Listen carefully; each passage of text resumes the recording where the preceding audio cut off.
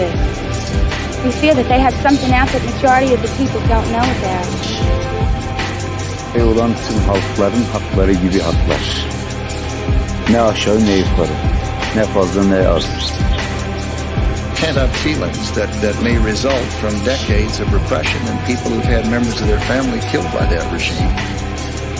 A lot of killers. Get a lot of killers. Why you think our country's so innocent? But I won't attack it because someone sicks me on. I don't let anybody use me to fight their battles.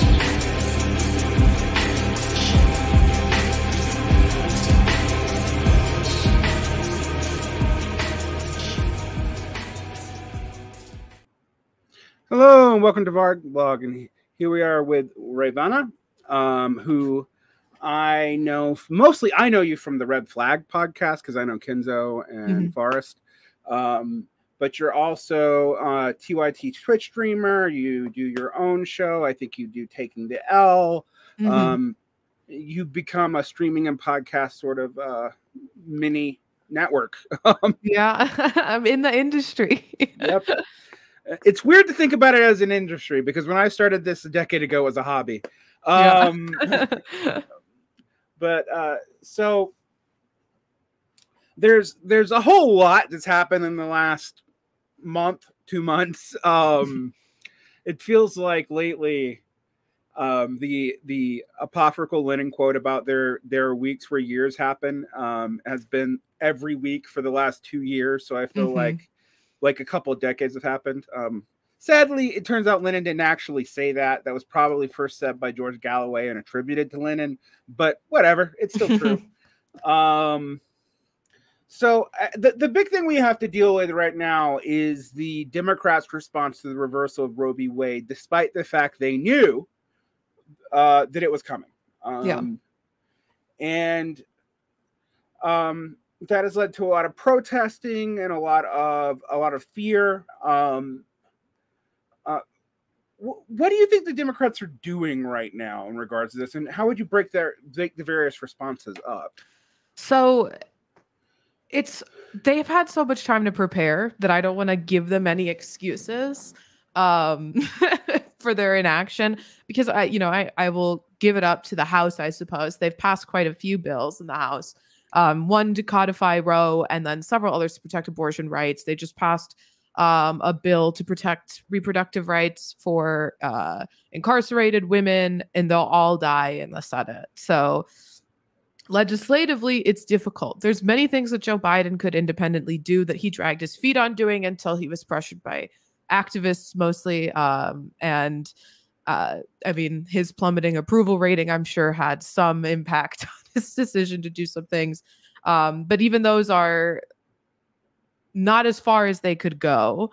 Um, but I mean, it, it like you mentioned, they've had so much time to prepare. They've had decades. It's been like a since the passage of Roe, this project to reverse it has been in place, and they've known about it. It's not been done in the shadows. Like networks like the Federalist Society, this is what they were created to do. Right. Like not, not just Roe specifically, but to to reverse, you know, all types of civil rights and to uh, you know advocate for the rights of corporations over the rights of individuals. And I mean, they're the reason we have essentially Citizens United, um, which has destroyed whatever tiny semblance of democracy we had in this country. So I mean, these organizations have been operating in the open. They've not been quiet about what they're doing. We've seen like networks like Right to Life and other anti-abortion, pro-forced birth networks. Um, and the Democrats did nothing. They fundraised and they fundraised and they gave lip service to doing something. But you know, when they actually had the ability to codify Roe, they didn't do it. And Right. Obama said it was not a legislative priority for him. They didn't do it. Um, Right. So now we are here, and they're left to clean up a mess that they watched happen and did nothing to prevent.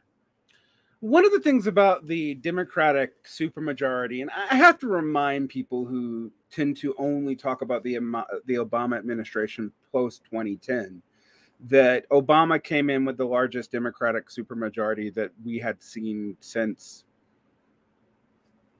the 50s. Um, uh, it, it, really, um, in all of modern politics, since the development of formal mass media, uh, we we had not seen a supermajority like that, and the the legislative agenda was stalled quite similarly to the way it's stalled now. And we probably we'll come back to this when we talk about Joe Manchin later. Mhm. But it's it was a bigger deal in many ways because there were many, many, many legislative things on the table.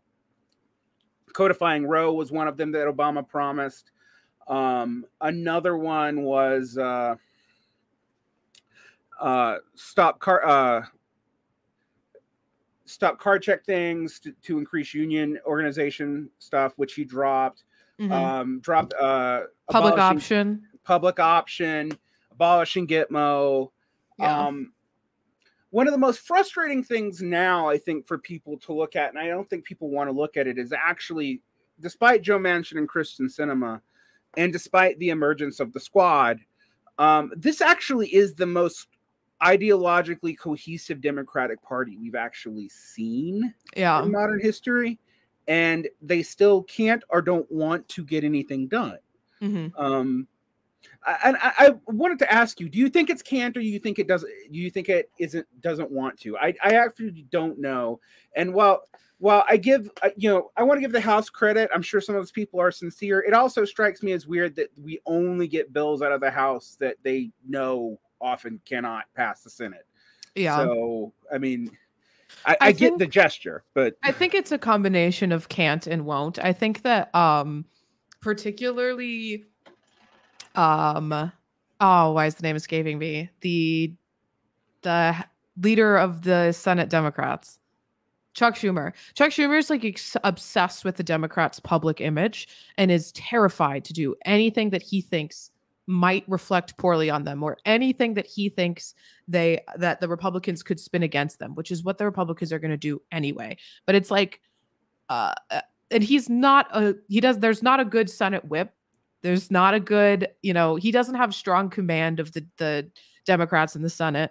Um and he's a feckless loser. So the Senate continues to lose. Um and the House can put through as many bills as they want on things like abortion, on climate change and what have you, but the the Democrats in the Senate aren't going to fucking step up to the plate and for when it people like Joe Manchin, of course, it's a won't. But for the rest of the party, it, it's it's a, a too afraid to try. I mean, not for all of the Senate. There's some, you know, pretty good senators uh, in the Democratic caucus in uh, right now. But you know, for the leadership of the party, truly, it is a too afraid to fall, so we won't even try. We we are we are so scared of expending whatever like misperception they have of of like their limited political capital and and public backing and the popularity of these things because they're super popular, right? Codifying Roe, fairly popular within the Democratic Party and the voters, massively popular. Climate change initiatives, popular. you know, child tax credit, massively popular, but they're just not even willing to fight for them um which uh, to to some for some of them it's it's about their donors but for some of them it's just about you know not willing to put up a fight and not knowing how to do it because they've always just rolled over. Well, as a person who often pushes back on the idea that FDR was somehow a socialist, I have been really struck by the difference in um, what what Democrats tend to learn from FDR. So, for example, they talk about how the court packing scheme was pushed back on; it didn't work, and yeah, FDR didn't get the court packed. However, um, the court quit taking as many cases mm-hmm. to undermine FDR's agenda after that move. So while Yeah. no side got what they wanted, um, it wasn't like the court just backed away. Now, John Roberts has been afraid of, you know, also actually he's kind of the the opposite and judicial version of a, of a Joe Biden in this Mm-hmm. uh, of of his conservative activism being unpopular because they know that a lot of what they want to do does not have broad popular support. Um, however, uh, it also seems like that approach doesn't really have much much teeth if they don't think there ever be repercussions from the Democrats, and the Democrats act as if there's nothing they could do.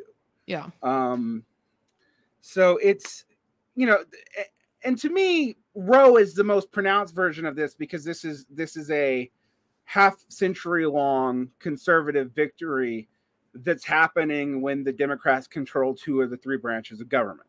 Yeah. Um, which is always going to reflect poorly on the Democrats because regardless of you know the fact that they don't have the ability or carte blanche to just I mean technically to just put whoever they want on the court they could through court packing he won't do it. But um you know people will still view that as a this happened under Joe Biden right? That's just how the average person is going to view these events. Not like oh this happened because of the Federalist Society's like decades long project to pack the court system. Mhm. Yeah, it's uh well, I mean, I think one of the most damning things that came out about this, and yes, Biden eventually capitulated and did not did not uh, appoint this judge, but that Biden, with no quid pro quo deal intact, had actually agreed to appoint anti-choice judges, even knowing the likelihood of this ruling happening. yeah Which doesn't bode well. And then you have the fact that there are at least um, that there are several anti-choice members of the of the Democratic Party that have even beyond this been protected by the DNC while they're saying they're involved in protecting women's rights. Um, uh, um, that Henry Cuellar Cuellar, yes, exactly. Um, you know, I was about to say South Texas guy, Cuellar, Mhm. uh, i- is a perfect example of this, but also like Tom Kane. Uh, like you know, Tim Kaine in the membrane. yeah, I mean, good old Tim Kaine, you know, uh, Mr. Vice President for Hillary Clinton. Um, It's just the dumbest choice they could have right. pulled. Uh, you know, it, it, well, but, but it, there's a tradition of this, I think, of Al Gore and Joe Lieberman. Like, Yeah. uh, the fact that these, these Atari Democrat instincts from 1984 have not been adjusted, um, even after Obama, indicates to me that they're not going to be. Yeah. That, that it, and I don't know how left. I think leftists should be worried about this, but it makes me feel like it's like watching um, what we've seen with Labor in the UK, where Labor's basically now a permanent opposition party that doesn't have any real say in government, no matter what happens with the Tories. Mhm. Um, and it seems kind of like that may be where a lot of the Democratic Party is going. And, I, and I'll give another example of this. During this time period, we see this uh, this Newsom ad in Florida, which is really aimed at getting corporations to values come to California. Um, but it claims to be to try to get people to move from Florida to California. As an electoral policy standard for the nation, that's actually idiotic Mhm. like to get people to vacate what used to be a purple state for a democratically underrepresented blue state makes no sense as a strategy. Yeah. So but that's that's what you come to expect from the Democratic Party. yeah, but it, you know, I mean, it, it's sometimes it's really I, I agree. It's some of it's incompetence, but it it really is almost it's so incompetent. It's it, it's it's got to be willful at some level. Yeah.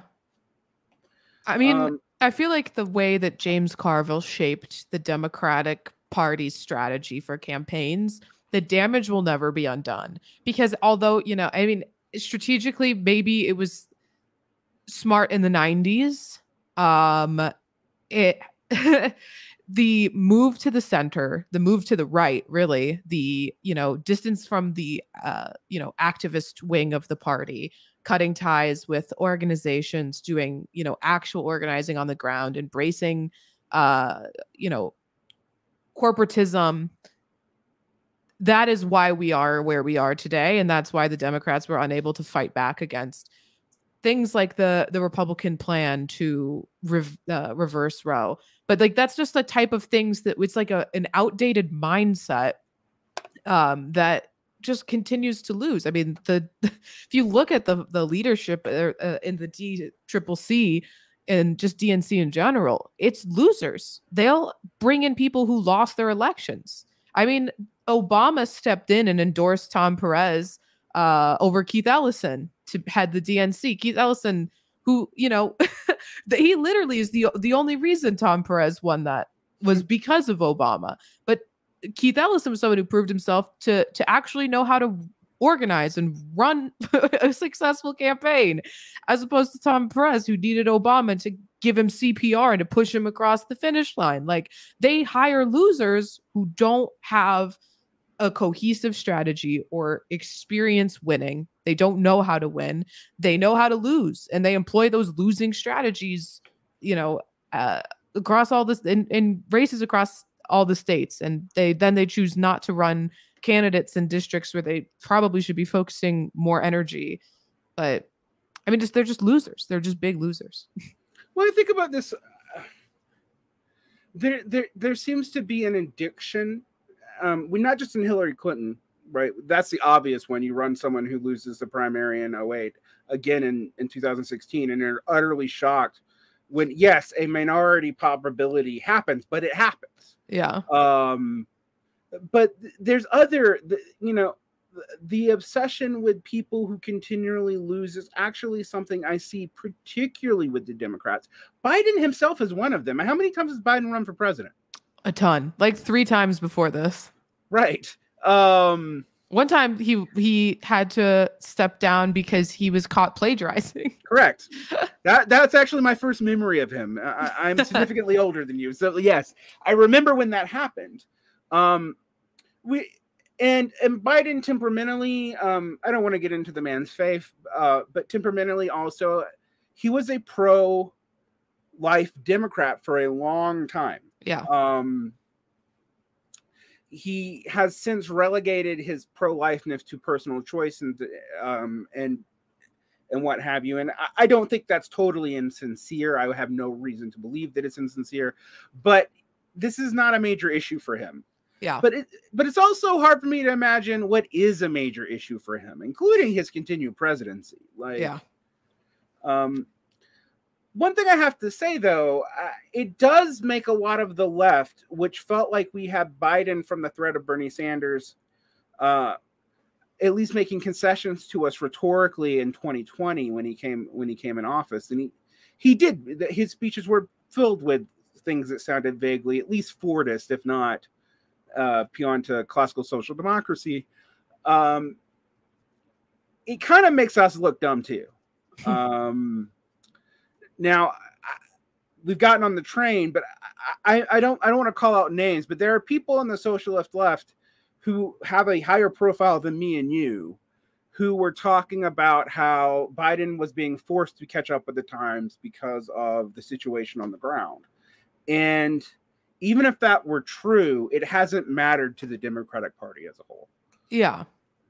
Yeah, I mean, because if they wanted a candidate, because who's going to be prepared for this? They knew the makeup of the Supreme Court going into the election. They wouldn't have nominated Joe Biden.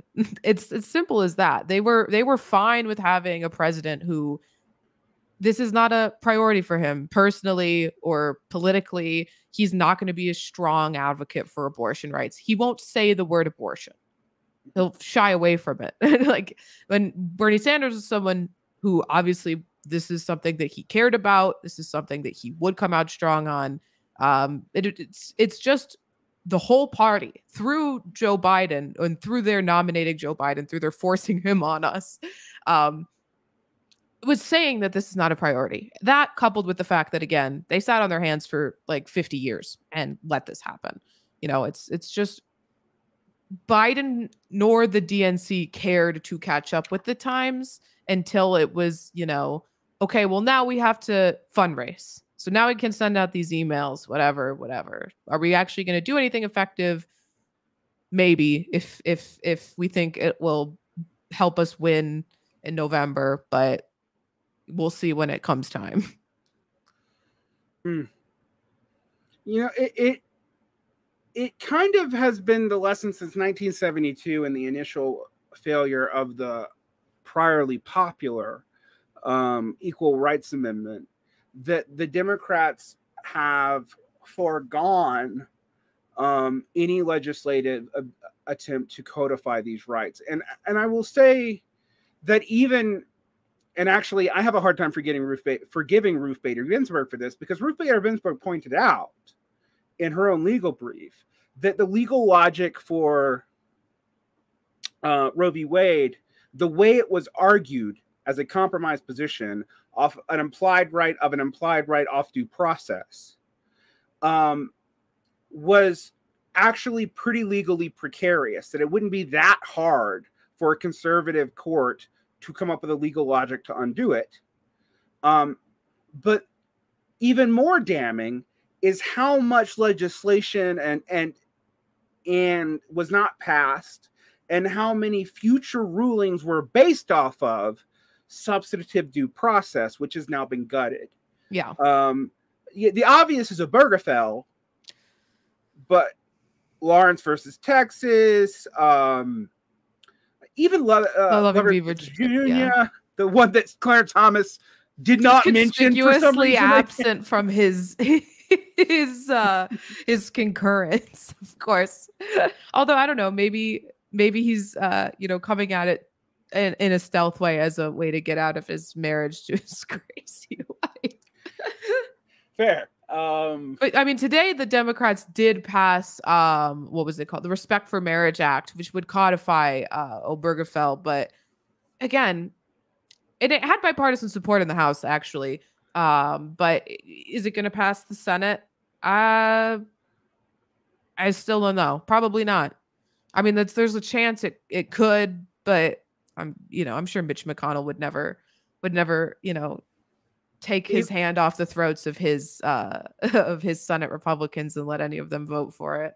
But what is interesting is this does actually lead to a certain kind of logic that, that is unfortunate, and I think we saw this even in the in the initial COVID Relief Act, um, that if there's a Republican president, there is a there is a chance that Mitch McConnell will actually let his hand off the throttle on something like a marriage protection act that protects gay marriage because he knows that even on a lot of conservative states that that would particularly amongst the under 40 set set people off. Um, it's even more than abortion. It's actually an issue that unless that unless you are literally a baby boomer has pretty much been settled. Now, yeah I do want to remind people that reactionary baby boomers who we thought went away, all you have to do is read any newspaper comment section to be reminded that no, they, they not only exist, but they do really want to get rid of you. And there's a few reactionaries who would love to do it for them.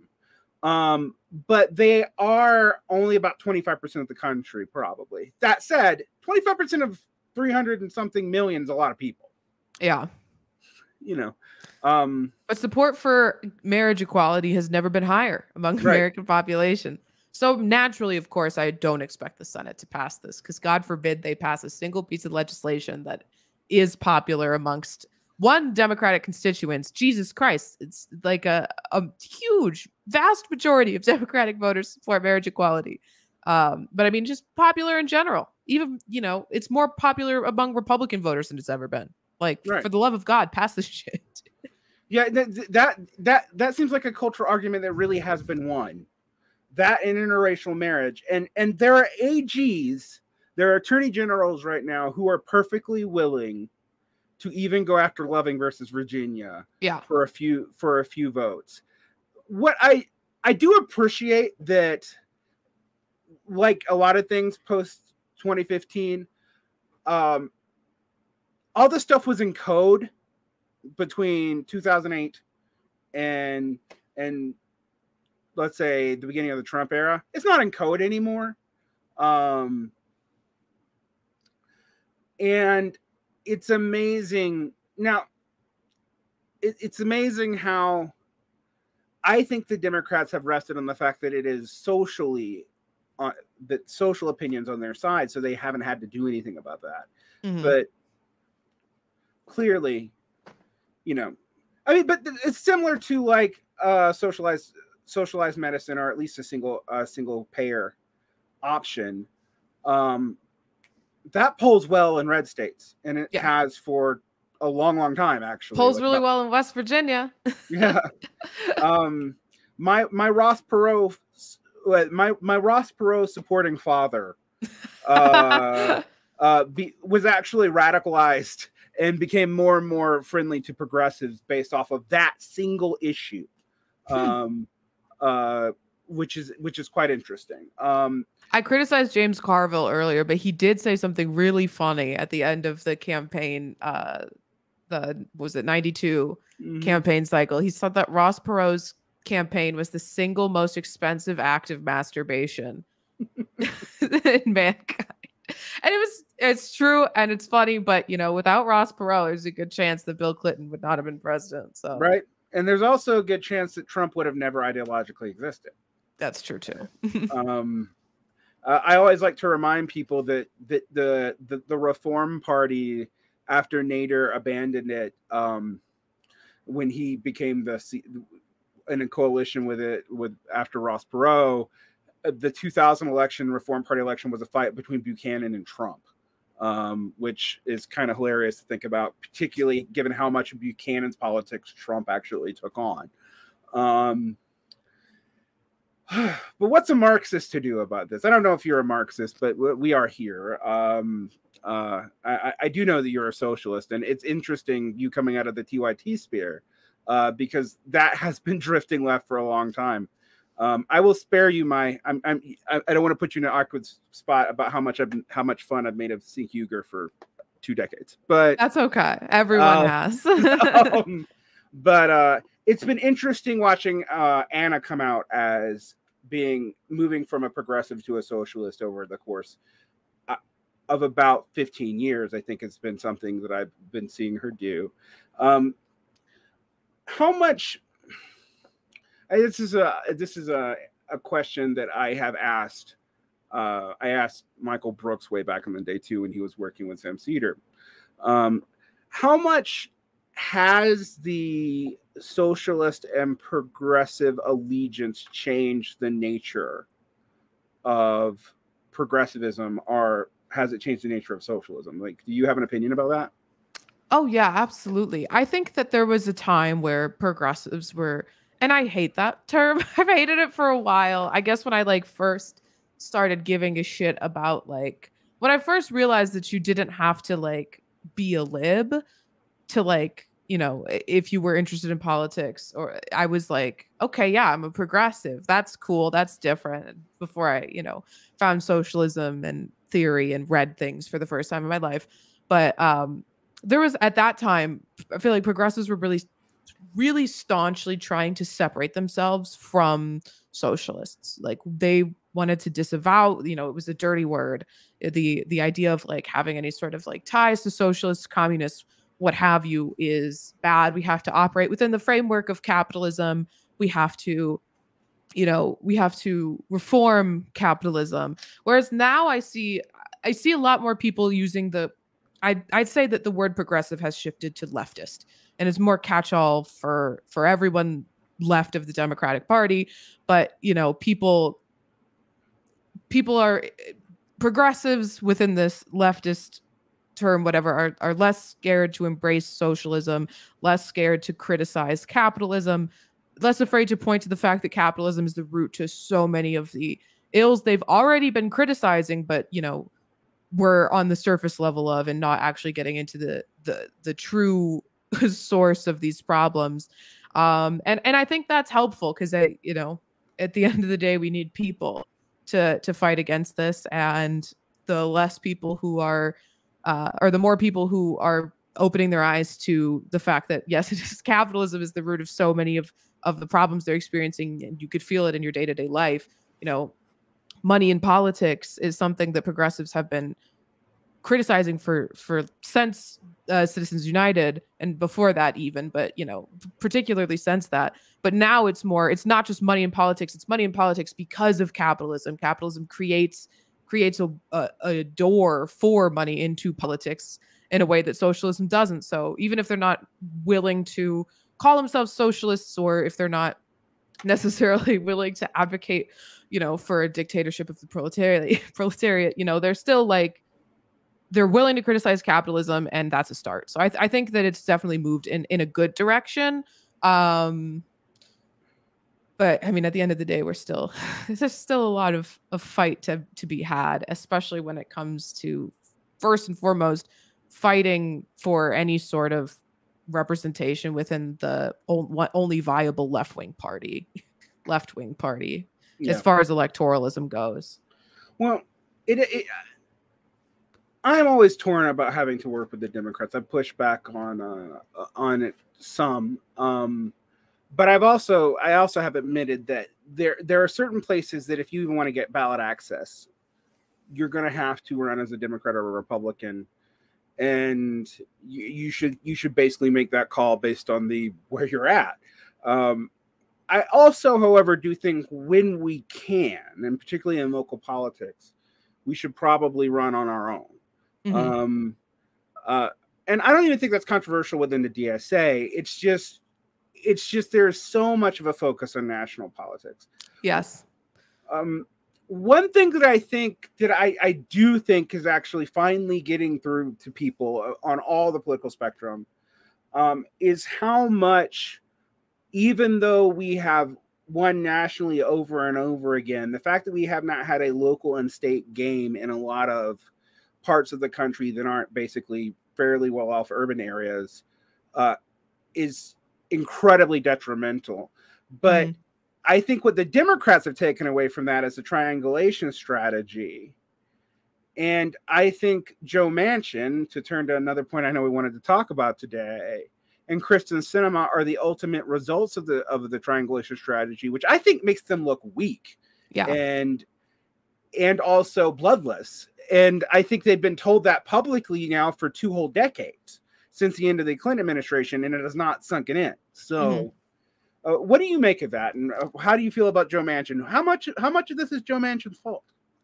Well, I mean, Joe Manchin is a product of the Democratic Party allowing someone like Joe Manchin to be within their party. So, I, you know, I mean, to to to that extent, of he's the person he was always going to be. He's always going to be the fossil fuel, uh, you know, advocate. He's always going to represent his uh, his daughter's interests, her financial interests, you know, in the Senate. And uh, I mean, Kyrsten Sinema, to a lesser extent, she presented herself differently than she ended up becoming. Well, she was a Green Party member, and I, even as late as 2000 and what 17 or 18, people were saying she was one of the most promising progressives in, yeah, in, in government, which is hilarious. It But- is, but I mean, I mean, so so I I fault them a little less for her, um, but you know, Joe Manchin is is a product of of the Democratic competence, but just to that extent, like, uh, uh, not allowing this such a, I mean, and like you mentioned earlier, they're they're pretty ideologically uh cohesive, say for someone like Joe Manchin relative to the rest of the history of the Democratic Party, but there's it's it's the desperate need to have someone telling you you can't do what you want to do, that you can't accomplish what you think you could accomplish. Like for Obama, that was Rahm Emanuel. Fuck Rahm Emanuel. I hate him so much. Another Um, person that I used to be told was a progressive in the early aughts, by the way. I know that's a long time ago, but I remember people talking about how we needed more Rahm Emanuels to fight for progressive causes. The but- person who almost single handedly killed the fucking Yep. public option before it was a thing. yeah, yeah. I mean, like, and was one of the worst, one of the worst uh, elected officials in Illinois that we which is can remember. impressive. Which is impressive because it's not not exactly a state known for its competent uh, and definitely staying within the uh, coloring honest- inside the lines legally politicians. But yeah just i mean it's it's a, the democratic party is a nightmare in in that sense but to to what you were saying it is there is like a one fault of people on the left i think and you mentioned this is a hyperfixation on national politics when there is so because you really can run not as a democrat or republican in a lot of local races. You don't have there's many positions where you don't even have to announce a party. You just run as yourself and um so places where where you know it would be harder to run as a Democrat in that area. You can run without a party affiliation for a local position and do good in that position. And because so many, so many things that impact our lives on the day to day are happening, state and local, right? And and this Uh, Republicans understand that. That's why they're fucking getting every every wine mom with a uh you know a lifted jeep and a Trump flag off the back to run for school board. Right. Like the amount they've- of yeah. They've Sorry, effectively taken over even rural cities and bright blue states like in Southern California. Mhm. Um, and I think this has been missed. And I'm like, no, they, you know, I mean, and in some of those states actually, they've been taken over by the most extreme elements of the party. Yeah. Um, uh, and and I have also noticed the the the Republican ability to bait progressives into incoherence with uh by finding said wine mom or said uh gun coffee shop owner or uh weird conspiracy yoga mom to to represent the most r- radical elements of the party but also to bait a lot of progressive commentators into saying really reactionary things Mhm. um and thus being able to throw that back at them too simultaneously yeah. um uh and it seems to be more it seems to have been a more successful tactic with them on on on the wine mom contingent than it has been on say finding black conservatives to do it they have been less successful with that although with with latino with the with the latin demographic i don't know that we're going to be that they may have found a better strategy there Well, there was just that woman who won in Texas, a race Mhm. that, the, yeah, they were calling her Miss Frijoles. The Oh, Democrat, yeah, it's like, what on God's green fucking earth did you think you were doing here? like, just playing into the the fucking narrative they already had, which was that Democrats are racist. Like they're they they don't care about you know it's like a, a deeply Mexican district. They don't care about your interests. They they they you know they don't care about you. They just want your vote. And now you're calling the candidate, the Republican candidate, Miss. Like, yeah, no, fuck. Of course they're gonna not vote for you. What kind of strategy is that? No, it, it, it's it's an amazing it's an amazing thing. I think we're going to see more and more of. I I pointed out, for example, that the national conservative movement not only has it been able to get certain leftists to work with them, um, unfortunately, but it's Yeah. also been very good at making sure that its public facing leadership is not ang- is not Anglo white. Yeah. Um, and I think that has been pronouncedly missed uh, because of a lot of people thinking that they were always going to be. Bef- I mean, Richard Spencer's a lot harder to fight than, I mean, a lot easier to fight than somebody who is, say, a, a, almost a monarchist Catholic, but can sound good on workers' issues and uh, can appeal to people of color. yeah. Um, so I guess this though, I, I to me the other elephant in the room that, that- before we really get into the Joe Manchin problem is also the Democrats' seeming incoherence in foreign policy, and Mhm. and the big one is even. Uh, I will give Ro uh, Ro Khanna, uh, Rohana, Ro Khanna, yeah. yeah, Ro Khanna, making sure I got my names right. Um, proper credit for standing against it in the beginning and now, but during the height of the Ukraine thing, the expansion of the military budget and even the progress, all the progressives and stuff completely rolling without any concession on that was worrying. Um, because it, it it's, I admit the situation in Ukraine is actually hard to parse as a narrative. Um, Mhm. Um, because it, you know, um, NATO doesn't look good, Russia doesn't look good, parts of Ukraine don't even look good. Um, but it was an immediate gain to certain parts of the Republicans to say, well, look, they're not passing anything for you, but they can write a check of what, uh, $48 billion without any strings attached to the Ukrainian government. Um, have a nice day. Yeah. they, they can't do anything about inflation nor pass any uh, social welfare laws. Couldn't even renew the child tax credit. Yeah. I mean, As yeah, it's As anemic as that is. yeah. Um, and I'm now even accepted the, the narrative that the child tax credit was a contributor to inflation without a whole lot of evidence. Um, I mean, that's and that's ties back into the Joe Manchin problem, right? Because that's been his bullshit. We can't support and right now, and uh oh, what's that guy's name? New York Times uh editorial Krugman? uh David Brooks. Brooks. Okay, yes. Yeah, he went on uh, uh Meet the Press, I think it was, and was sucking off Joe Manchin, saying things like, "Oh, he warned us that that passing Build Back Better would cause inflation, and look where we are right now. He was right." Like we didn't pass it. He can't be right. What do you mean? He didn't predict. He predicted that passing these substantial bills would increase inflation. Inflation increased, but we didn't pass the bills. So so now he's taking a victory lap, you know, saying that it's uh that he was right and it's ridiculous. Um, well, I mean, David Brooks, you should never trust anyway. Uh, but part of, I will say though, the, uh, I want to say even the quote again. We're going to use the dreaded p word. The progressives. it was more when Krugman was actually talking about the need for higher unemployment that I was shocked. I was like, "You were the coin guy six years ago." like you were almost a modern monetary theorist. What the hell happened? um and so that's when i started really wondering like because what i've seen is not just a david brooks though i mean david brooks has been a chode forever yeah. um David Brooks and his child bride. yeah oh my gosh um but but the entirety of this of this new york times apparatus also has been like this like Yeah.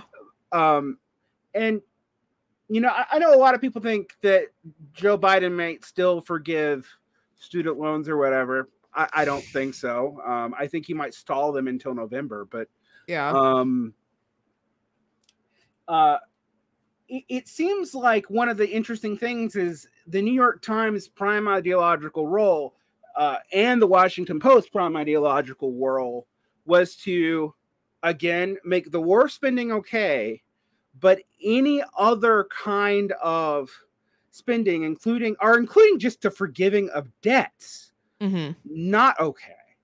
Um, off of very selective readings of moral hazard and tying that into inflation without acknowledging that inflation is nat- is transnational and thus cannot be dependent on any one country's policy that it has there's a lot of things there, there's more than one thing driving it i think Mhm. supply chains are part of it um, and i was very skeptical early on when the when the biden administration was like oh no it's just going to be for a little while. I was like no it's not. But but it's not about these small marginal policies or even labor gains because even conservative um, economists have said that if you actually look at the amount of inflation and labor costs which have been going up admittedly to the the overall inflation it could only explain 1% of the extra inflation. Well we've been up to 8 or 9% now. So that's not explaining it either.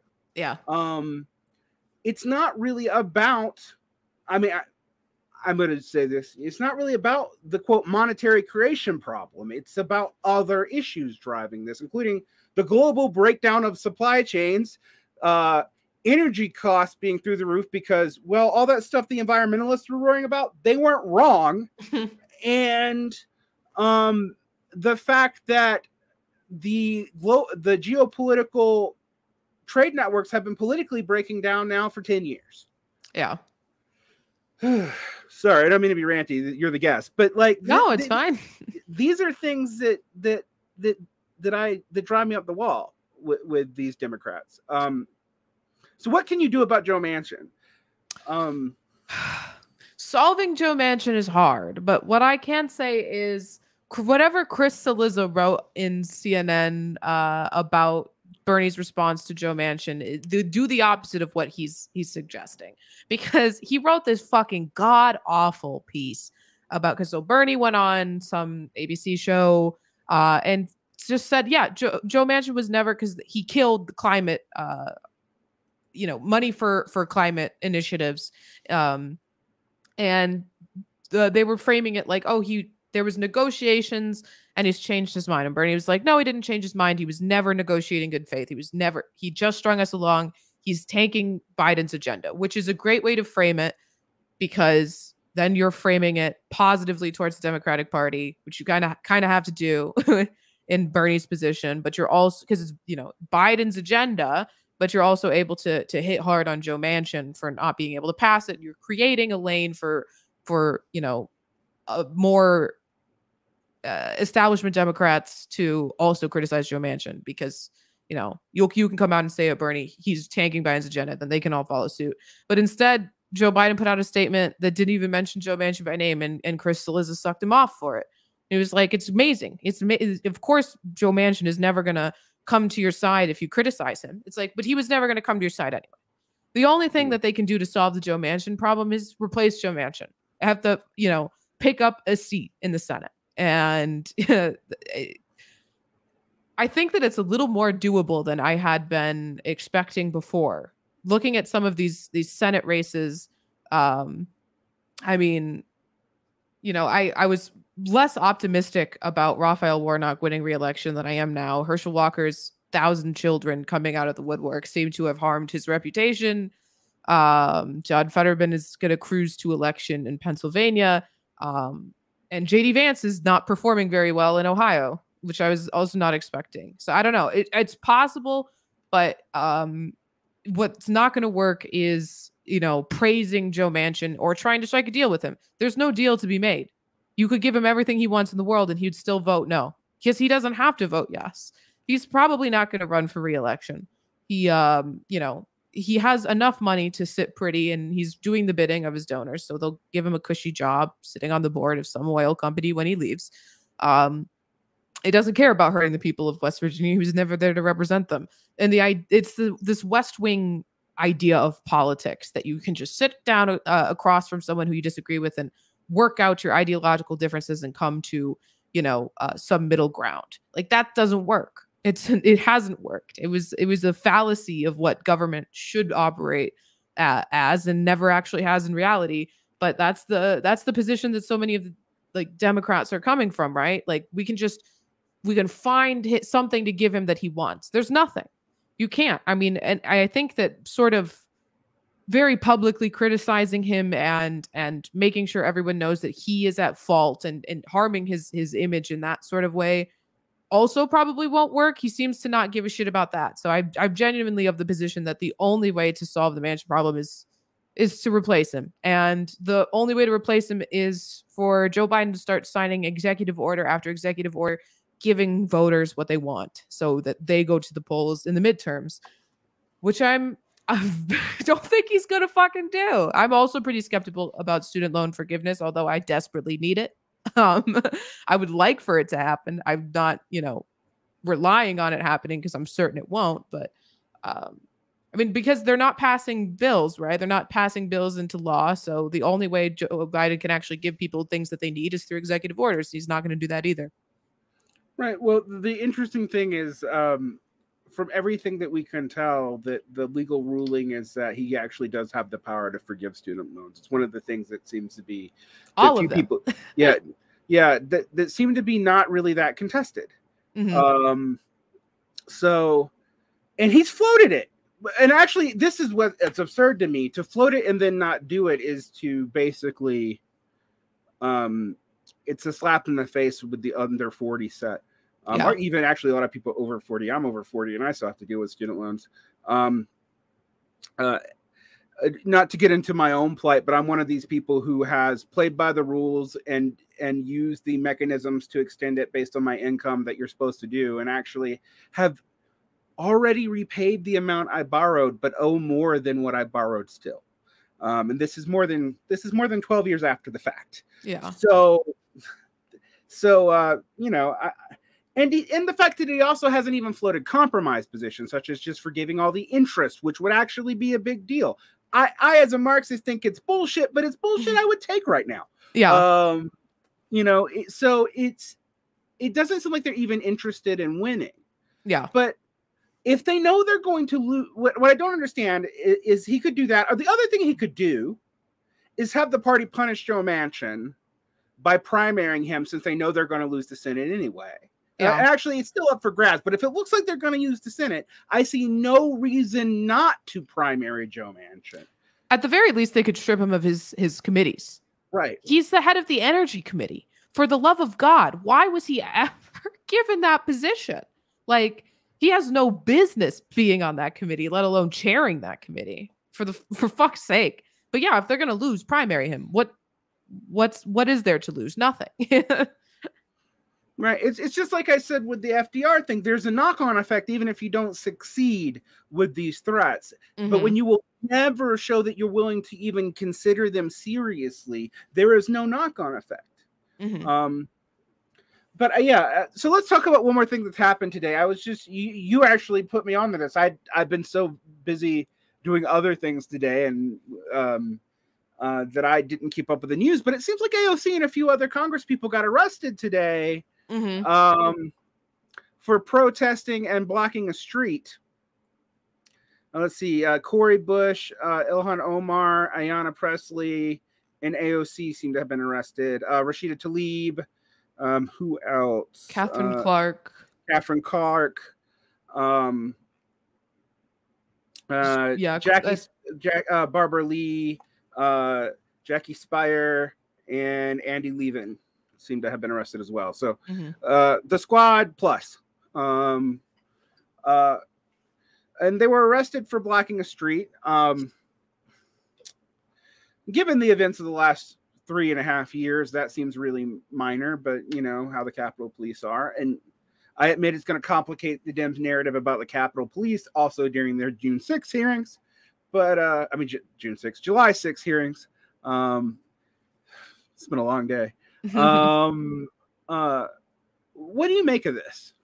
Um, I think that the uh, the act of doing it is right. They went out there to get arrested. That's a pretty common protest tactic, civil Mhm. disobedience tactic. Get arrested, get publicity, um, especially if you're a high profile figure. I mean, uh, what's what's her name that you Jane Fonda and um, Susan Sarandon do this all the time. They go to climate protests, they get arrested because it brings attention to those protests. I don't think there's anything wrong with doing it.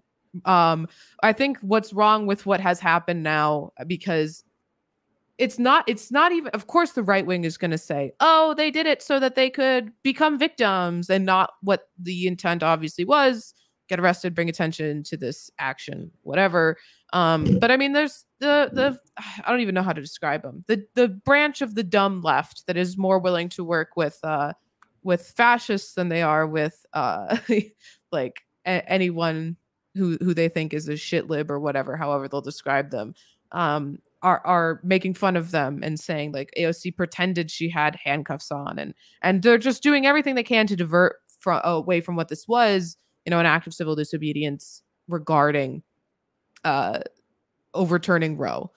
And it's a way to keep attention on abortion rights uh, because we're at the point where it's going to fade away from the you know the media right? We're a few Mm. we're like a month almost a month out now. Uh media has a short attention span. They're moving on to other things. This is still urgent. They're still passing bills in the house. Uh biden is still working on executive orders whatever and and working out the the kinks of of enacting those uh i think it's a good way to keep attention on abortion rights um and i i wish that people would i don't know take one second because is aoc perfect no is Ilhan Omar perfect? Rashida Tlaib, Cori Bush? No, they're not perfect. Do they share my foreign policy? Largely, not at all. But you know, they're doing fucking something, and and people are like, oh, go back to legislating. They're in the House. They have done the legislating. They did pass the bills. What else do you want them to fucking do except for keep the momentum and, and keep eyes on abortion as the media is is starting new narratives and and diverting attention away from abortion right as these laws in these states are taking effect and impacting people um and you know killing people really is what's happening so you know Yeah, keeping, and keeping the focus on it is good and setting up a legal fight that I don't think people have fully thought through. I mean, uh, one thing I will say, liberals used to really annoy me with the Civil War talk, um, and I and a because it gives uh, weird conservatives who want to cosplay being the Viet Cong um, uh, some kind of hope, but also because there was no real there was an ideological polarization but there was not actually a legal and elite and in actual substantive basis. I still kind of think there isn't. In fact, I, my belief is if that ever really did start to happen, we just have a military junta and it would put both sides down. Yeah. Um, but which, which is which actually is kind of the darkest possible timeline. Well, it's that or the other, the, the the right winning are both dark possible timelines. But um, one of the other things that I think about this is that these states are passing laws that are also aimed at affecting the legality of other states. yeah. So all the states' rights arguments that the Supreme Court can put out, the laws being crafted in these states are, are aimed to put them in direct odds with each other. And then the Supreme Court to basically selectively pick which states' rights they want to honor and which ones they don't. Mhm. Um, and since um, on other rulings that I don't think have gotten as much attention because they have been about mostly religious liberty, they have also been undoing re- even originalist. Uh, you know, they've been undoing Scalia rulings because they bound them too much, and so they couldn't just do whatever partisan thing they wanted to do. And people have not been paying attention to that unless you're like a new atheist activist or something.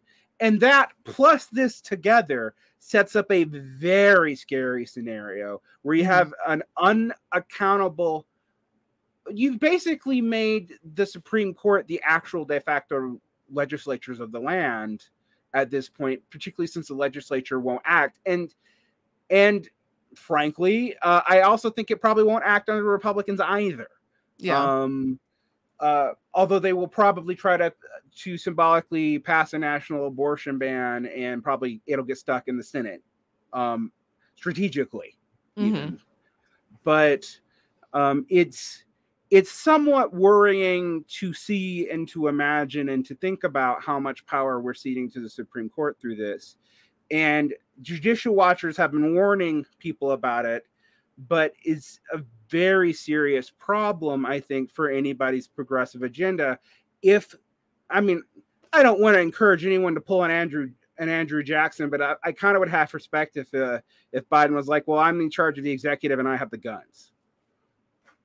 You know, like Mhm. like like I, I, you know, it would be that would set up a constitutional crisis, but the constitutional crisis is set up to happen anyway now.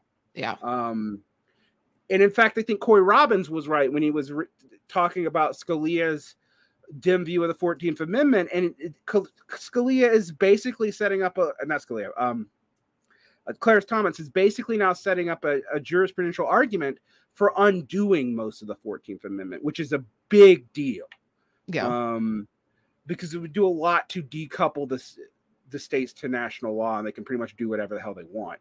And for people who don't know, before the Civil War, the states could.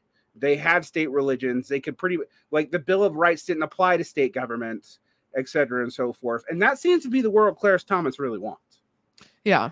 Um, and like you mentioned, the the religion cases that went through the Supreme Court this uh this season, it was tough. Like the the football case, ridiculous. One of the most I mean, and and I've, you know, I've gone to law school. I love to tell people that uh you they love to present the Supreme Court as nine amazing wizards who could never be wrong about anything, but for the love of God, like the way that Alito represented what happened in that case versus the video of what happened in that case, there could not be a stronger juxtaposition. He called this because of the the coach was praying on the field and getting the students to pray with him uh, as a public school. Obviously, violation of First Amendment, pressuring his team at a public school event funded by the school to pray with him. But Alito was like, "Oh, it was a quiet." private prayer. There's a video of this guy at the fucking 50 yard line holding up helmets with a crowd of children kneeling around him and he's like screaming amen. Like there was a state legislator there. Media was there. What kind of quiet public event is this? But it, you know, it doesn't matter. And and to the, you know, we discussed a little bit about um Ruth Bader Ginsburg creating a justification for overturning Roe, but at the end of the day, you don't even need a good legal argument. You don't even No. need a good justification. They can write whatever the fuck they want.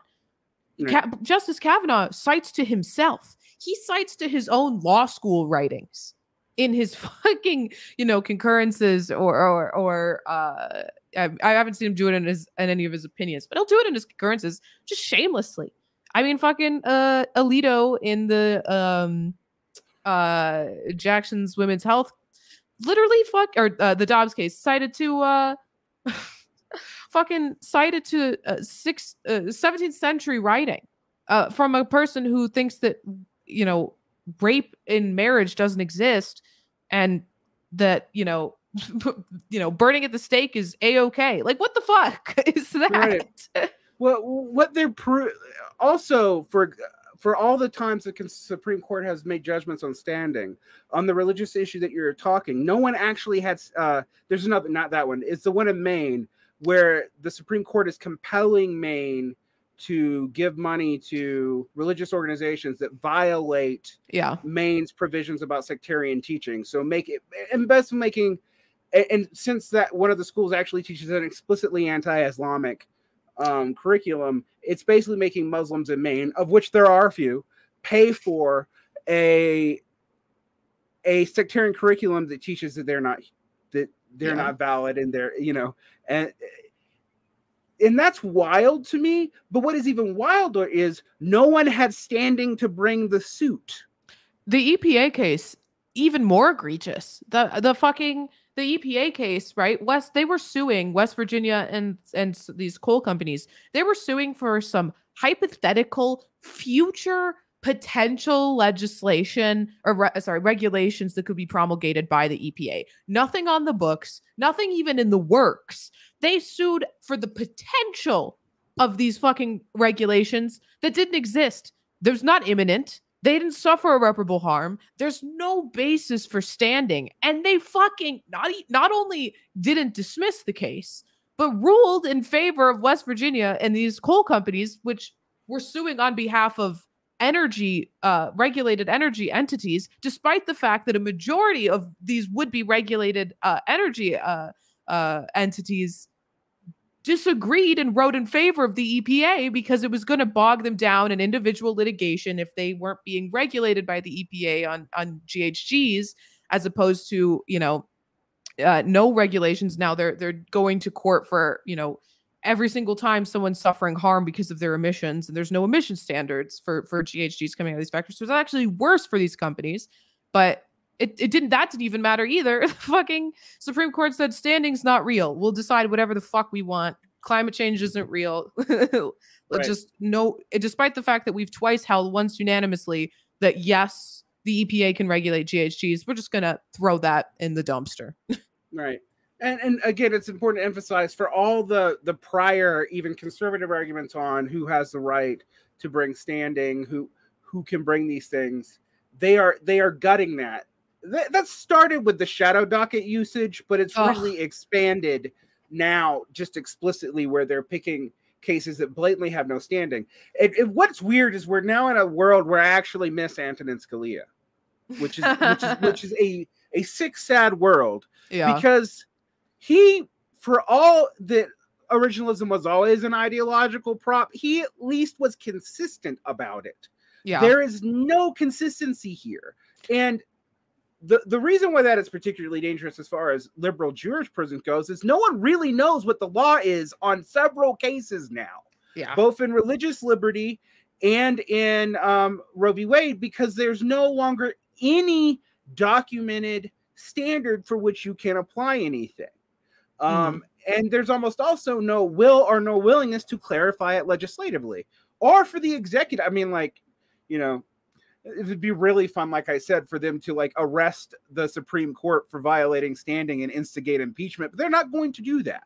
yeah. Um, and in fact, what a, Biden's chief concerns is the appearance of the legitimacy of the court, It's which which is like it's like, well, if the court's acting illegitimately, why are you concerned about the appearance of the like then create do what you have the constitutional ability to do impeach these fucking justices or pack the court to give it the legitimacy that you're concerned about right? Put justices on the court who and i always joke but genuinely put the youngest uh, uh, legitimacy be damned. Put the youngest fucking fresh out of law school most liberal like you know barely practiced lawyers you can find who are going to live forever who, will, never die, will live forever to to reshape the court because it's what you have to do. Don't nominate anyone in their fucking, you know, 60s, whatever. Young fucking people. I'm talking literally 25 years old, fresh out of law school, because they can serve forever. and I, I think the- the fact that that the fact that the conservatives have been willing to do that and the Dems play a different game has been very frustrating. I I, do understand the institutionalist fears of like, well, I don't want there to be more. What was it? Gavin Newsom said, I don't want there to be more people in the Supreme Court than in the House. And I'm like, well, honestly, the House should have been expanded a couple of decades ago too Yeah. but um i- at this point you're concerned about the legitimacy of government and which every poll indicates to you no one believes because of what government is doing Yeah. It's So- the, it's the the institutions are making or they're delegitimizing themselves. It's not just like the public trust is eroding or or what have you. It- it's people are paying attention and seeing what these institutions are doing and reacting accordingly. totally and it's it- it's hard to imagine what that means um i mean i think another thing that we have to to, to see and i think is going to be really pronounced is yes we've seen the the, the squad um and we we I like you think you have to call them like you see them, and there are many things, particularly on foreign policy. I don't think you can forgive the squad for, but um, they do represent at least some response to the change of both the Democrats' base into the country. Whereas, I'm sorry, but I, this became I've told the story a lot, but I was watching the the the Trump impeachment.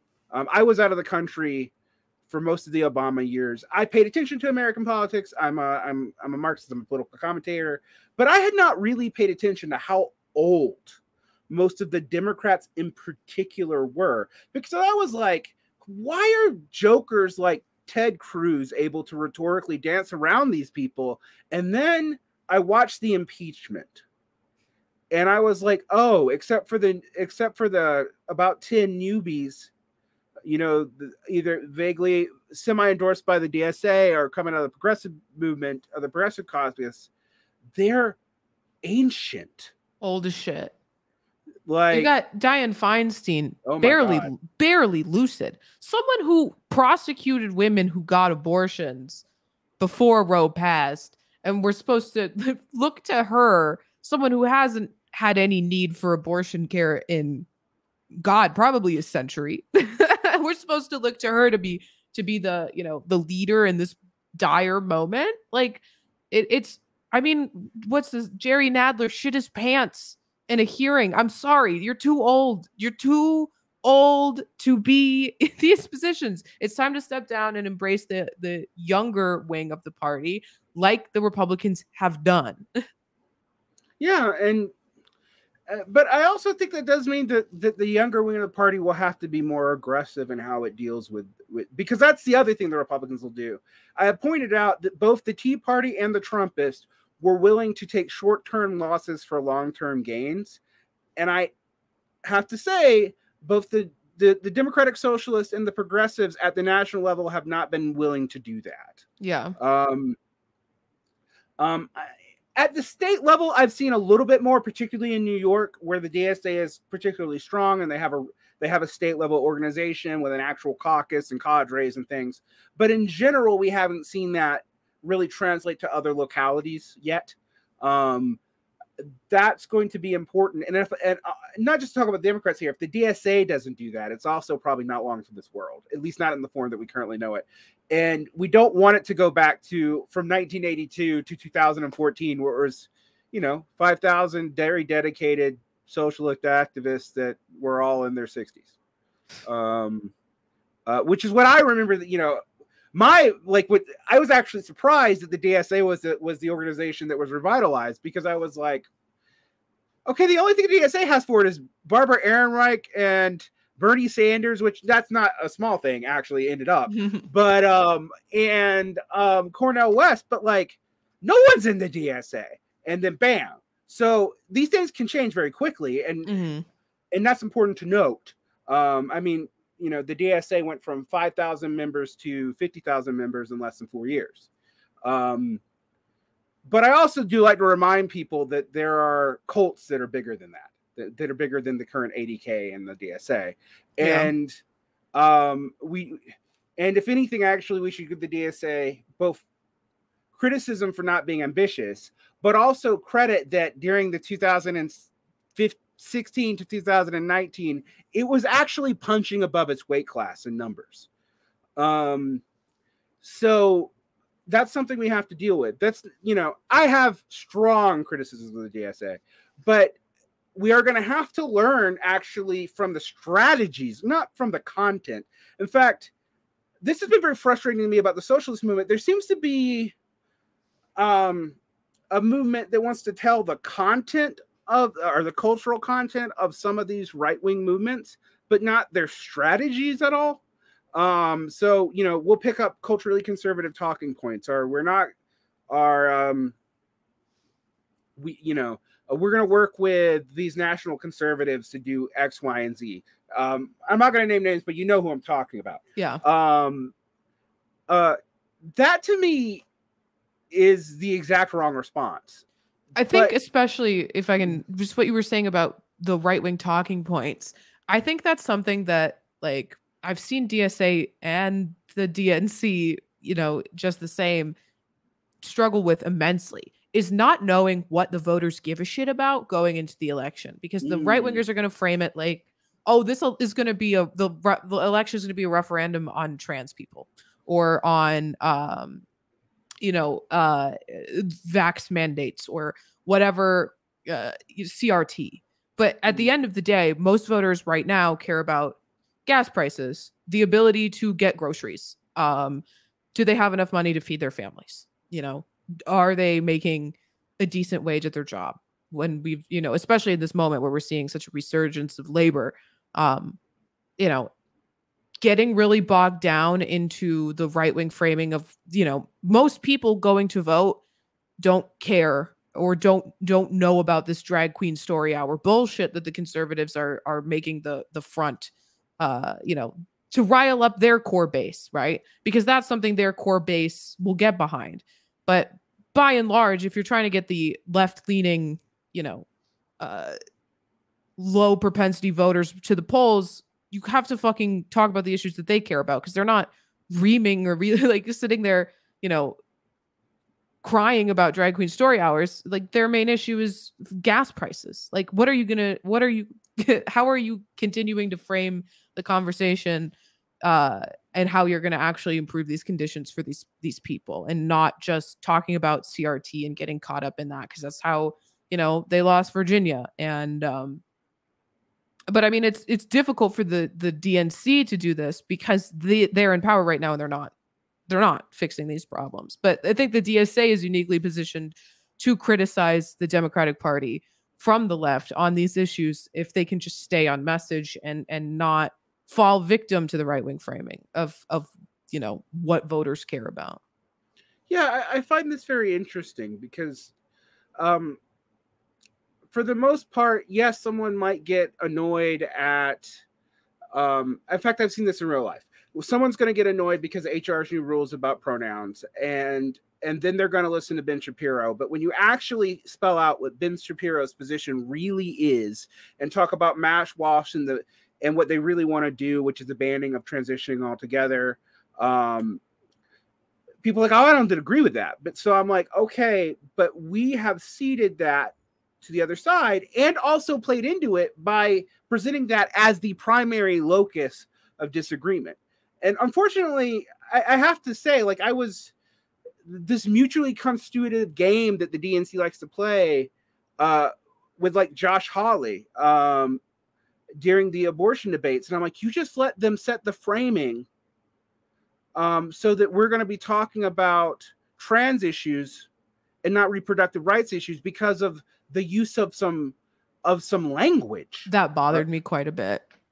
like we we you you actually set it up for the for, Mhm. for them to have the framing given to them in that way which both puts trans people in the in the firing line i want people to I want people who think that I'm saying, oh, we shouldn't talk about it. No, it puts them in the firing line and puts them as if they're standing against women's reproductive health Yep. and all other people with women's reproductive health.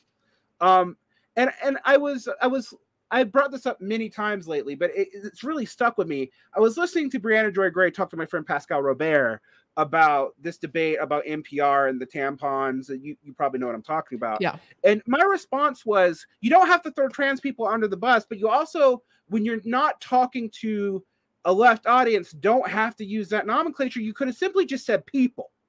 That is exactly what I've been saying since I saw that clip that everyone's been sharing of the the law professor, this is from Yale, debating with Josh Hawley. It's just say people move on. Just say people and move on. Don't let them steer you off message because th- that's exactly it. You don't have to say people with uteruses, people who menstruate, you know, uh, people who are capable of getting pregnant. They all start with people. Shorten it to people. And then Right. and now you're not opening the conversation to be an attack on trans people who for the love of God have not been able to catch a fucking break already enough already. And like and and this way you can continue to advocate for what you were there to advocate for, reproductive rights, which of course impact trans people as well, but now you're not steering the conversation away from reproductive rights and into, you know, uh, the legitimacy of tr- being trans or pronouns or what have you. You're just staying on t- on subject on topic and you have the the the benefit of you know not alienating the people who are are not super attuned to all of this but also being able to get your message across and also not putting trans people like you said in the firing line right Yeah. because Not For the- fight line, but also not throwing them under the bus. We don't have to, we, we don't have to like like there are natural language ways. Uh, you might hear it. I sometimes slip on and say Latino. I don't like Latinx actually because I live in I live in a mostly Latin part of town. Mhm. um, and it's kind of universally rejected now as a sign of.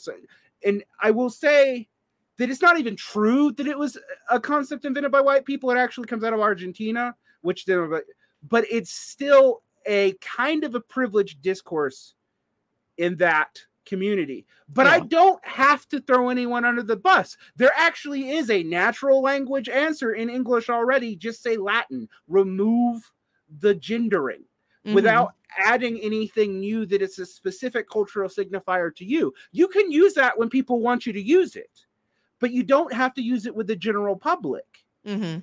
Um, but you also don't have to throw these groups under the bus either. Like, and so what I, I keep on getting stuck. I'm like, why are you setting this up in a binary as if we don't have an option to approach this to people who are more who may not be as aware of these of these changes and norms? And we do have to remember on trans issues, the change was fast enough that most of it happened while I was out of the country.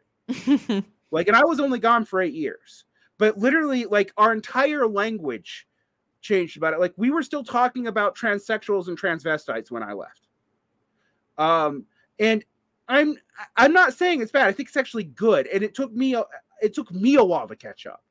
But I'm also just sometimes just baffled by why we are actually taking the bait. yeah Um, similar stuff with CRT, and I, I've seen liberals actually defend CRT, um, critical race theory, uh, as as just anti-racism. Like it's actually not. It was Um, one of the most frustrating things that I would see was people saying, actually, CRT is good and it should be taught in schools. I, as someone who went to law school and learned CRT, no, it shouldn't be. Your child shouldn't be learning critical race theory. Your child is not going to fucking understand it. Your child, your child, child should be learning math and social studies and you know social skills and how to socialize with other people at school. That's what they should be focusing on. Or for the love of God, maybe some public school will teach proper sex ed but CRT is not appropriate to be taught even at an undergrad level. That is graduate school level theory. It has no business being in fucking, you know, uh primary secondary school. Um and, and framing the conversation that it's it's should be taught in school is ridiculous. Like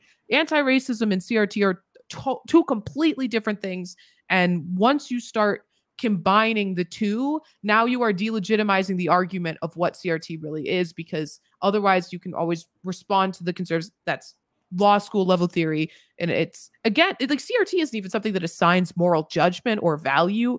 It's just a framework through which you can analyze disparate impact of laws on racial groups.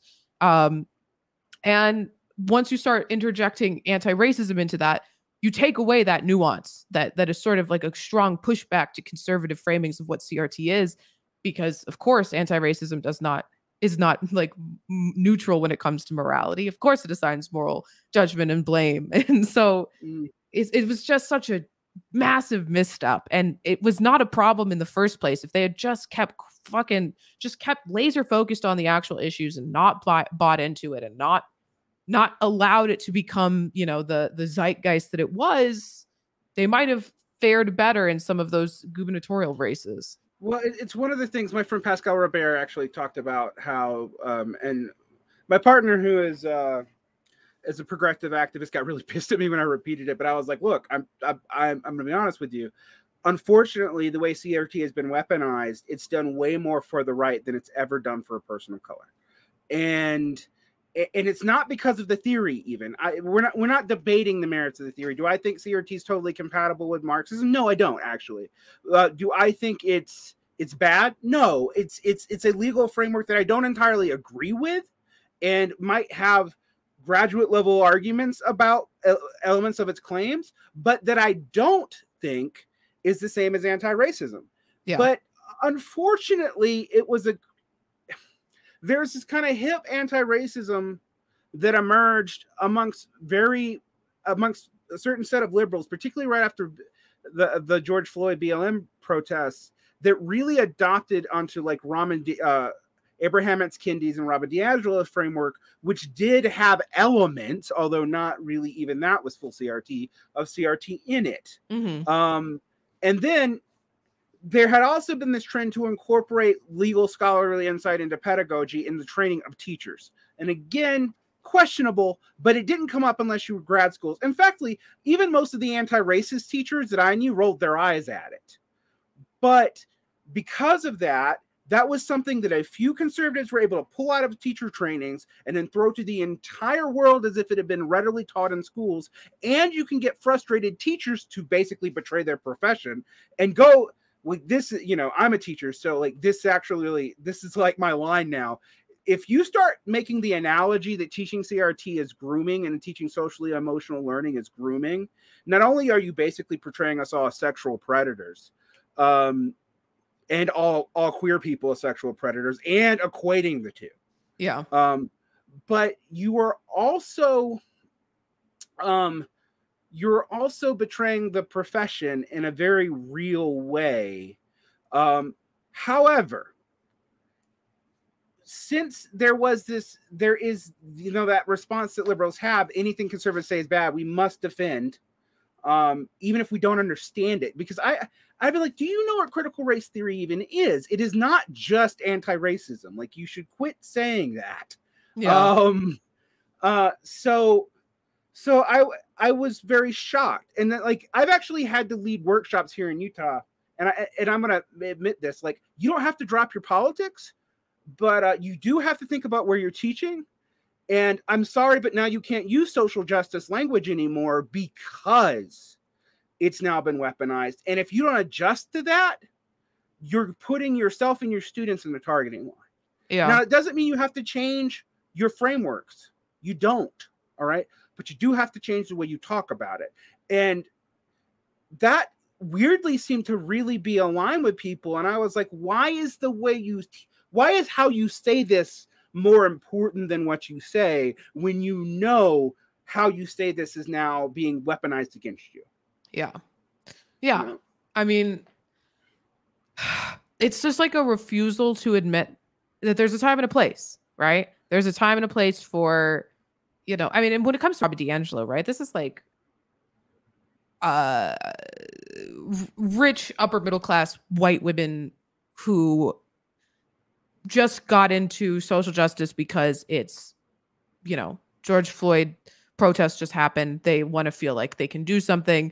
Robin DiAngelo presents to them a way that they can they can feel less guilty about the you know decadence of their lifestyle and not ever actually engaging in any sort of anti-racist action um uh so so they can like they, they can feel like they're helping but in in reality they're just acknowledging they have privilege which i guess to some extent Yeah. sure I mean, it's good to acknowledge that absolutely but like you're not like it's it's it's it was just a hot thing to have in your it was like a Robin DiAngelo specifically, it was it was just like a trend. Like, ooh, we should have the speaker come to our corporate, you know, event because you know she's really popular right now or whatever. We should start doing these trainings because like it's it's like the best on the market currently. But it was never. It's not like these corporations that were using her trainings give a damn about racism. It was it was just like it was popular at the time, and they're also they don't want to get sued. They have to do Right. these discrimination trainings. right they, they changed their language but i guarantee you they didn't change the racism inherent by accident not even intentional